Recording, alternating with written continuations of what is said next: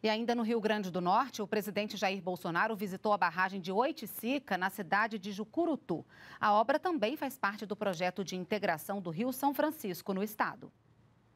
A obra visitada pelo presidente Bolsonaro tem mais de 90% dos trabalhos concluídos. Quando começar a funcionar, a barragem de Oiticica vai distribuir água do Rio São Francisco para cerca de 330 mil pessoas de oito municípios do semiárido do Rio Grande do Norte. A história desta barragem é antiga. Começa em 1952 e passa por várias interrupções ao longo de sete décadas.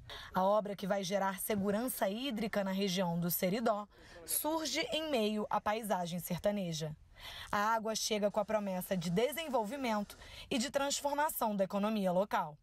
Isto aqui é uma obra que não é pedra, cimento e cal, é dignidade, é respeito, é reconhecimento. Aqui também nós teremos a geração do emprego e renda.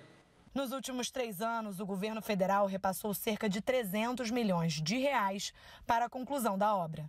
E o presidente também anunciou o repasse de 7 milhões de reais para pavimentar a estrada que liga Jucurutu ao resto do estado. Com o trabalho de todos, com os esforços de todos, nós seremos uma grande nação. Não existe satisfação maior do que aquela do dever cumprido.